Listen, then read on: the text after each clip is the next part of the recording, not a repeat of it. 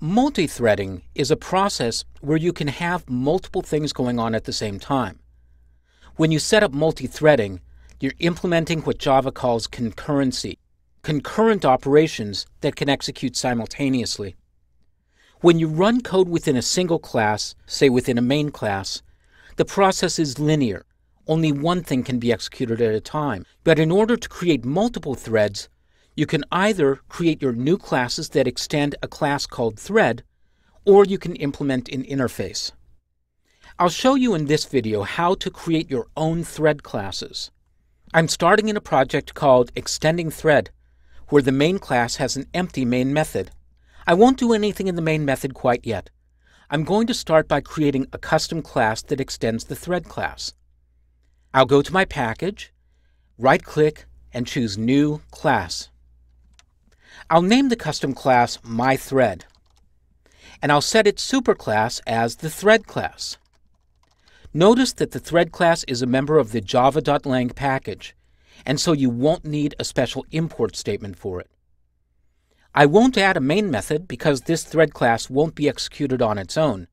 Instead, it will always be called from a main application. And I'll click Finish.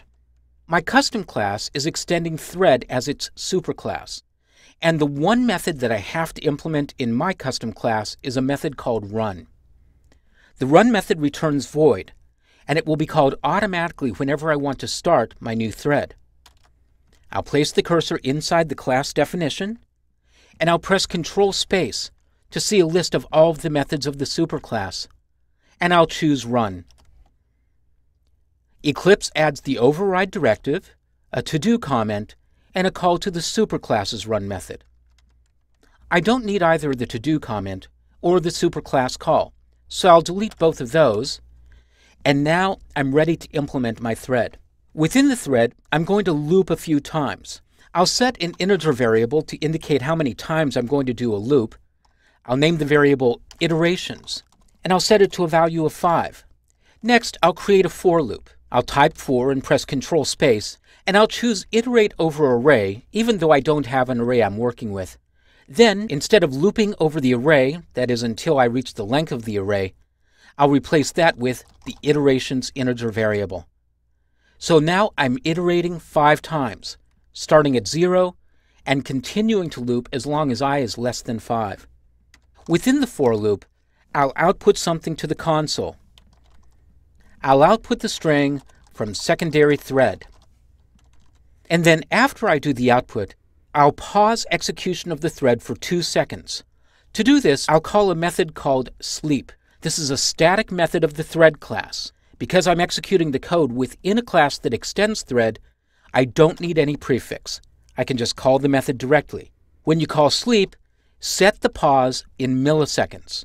So if I say sleep for 2000, that means I want to sleep for two seconds. Notice that that causes a compiler error. I'll move the cursor over the error indicator, and I see that I have an unhandled exception called interrupted exception. An interrupted exception is thrown whenever the thread is interrupted.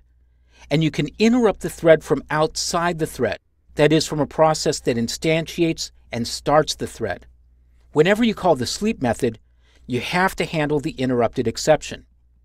Now, I could surround just that call with the try catch, but I'd rather surround the entire for loop so that if an exception happens, I'll jump out of the for loop automatically. So I'll select the entire for loop, then I'll right click and I'll choose Surround with Try Catch Block. Eclipse automatically detects the interrupted exception that might be thrown, and so it sets up a catch block with that exception class. I don't need this to-do comment, so I'll get rid of it, and I'll replace the call to print the stack trace with the call to system.error.println, and I'll pass in the exception object. So that's my custom thread. Again, the most important thing here is that I'm implementing the run method. That's the method that's going to be called when I instantiate and start my thread. Now I'll go back to my main class. Within the main class, I'm going to do another loop. So I'll create another integer variable, which I'll also call iterations, and I'll set its value to 3. Now I'll create an instance of my custom thread class.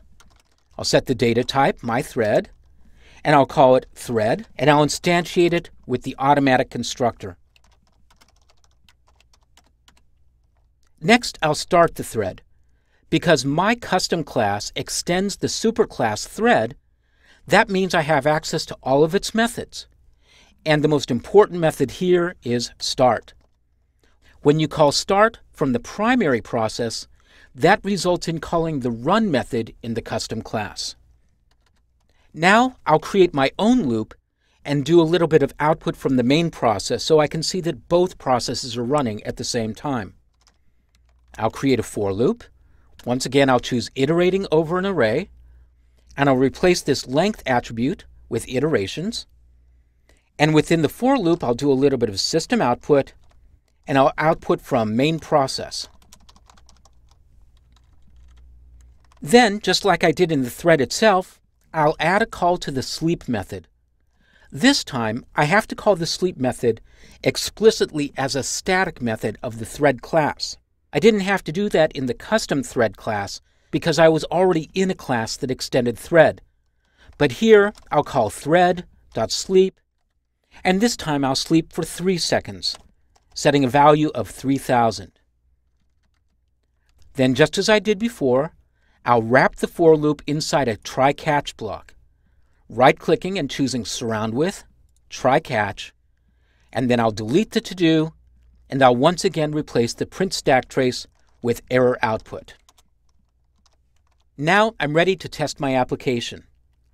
I'll run the application, and I immediately see the main process output, and then the secondary thread, and then the main, then the secondary, the secondary again, the main again, and the secondary thread. Once both threads complete their executions, the application is done and it automatically terminates. So that's the simplest approach to multi-threading in Java. Create your own custom class that extends thread, add your own functionality to the custom run method, and then instantiate the class and start it from your main process.